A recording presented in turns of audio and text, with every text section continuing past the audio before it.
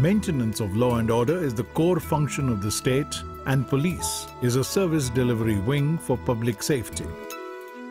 World over, GIS is being widely used to supplement crime fighting strategies. GIS tools facilitate policing through crime mapping and analysis by providing useful, timely, and accurate crime analysis data. With an objective of making Hyderabad as one of the safest metros in the world, the government of Telangana made substantial investment for modernization of its police. The Telangana police have gone a step ahead in making real-time use of the geospatial data for citizen service delivery, emergency management, and crime prevention. The Hyderabad City Police have brought together a variety of crime data and integrated it with other databases in the public domain to provide a comprehensive view of the crime events.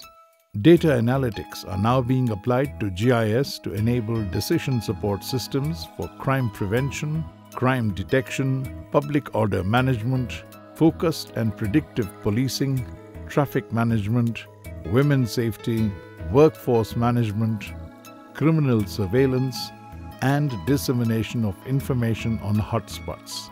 Crime prevention is one of the major challenges of policing.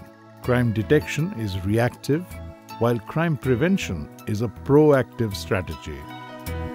Applications built on GIS technologies are of great help in policing strategies aimed at crime reduction.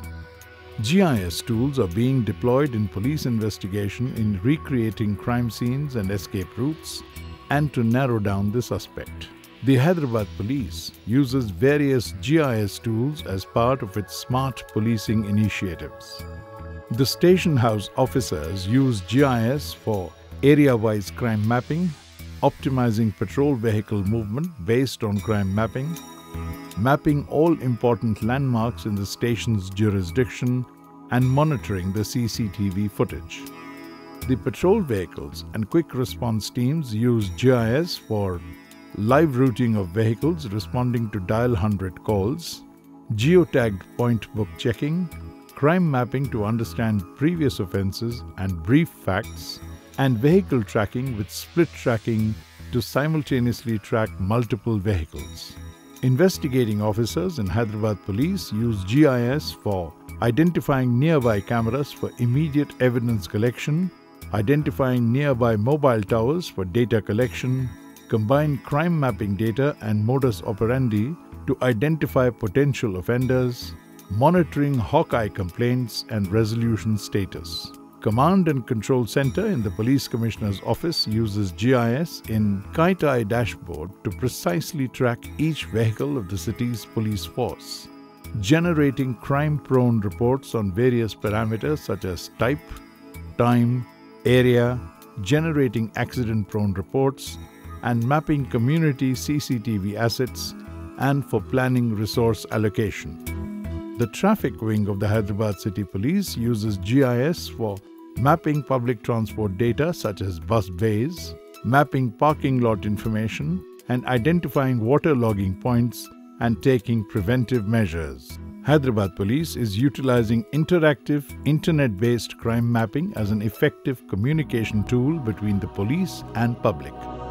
Online initiatives empower citizens and motivate them to get involved in community policing. After introduction of the GIS tools, supplemented with other technologies, the overall crime rate in Hyderabad has gone down by about 18%, and the most notorious incidents of chain snatching has been drastically reduced by 66%. Telangana Police recognizes that increased use of technology will bridge the gap between the government and the citizens by providing effective and timely service delivery. GIS-based applications have thus proved to be very effective tools in the hands of police for the maintenance of public order and crime control.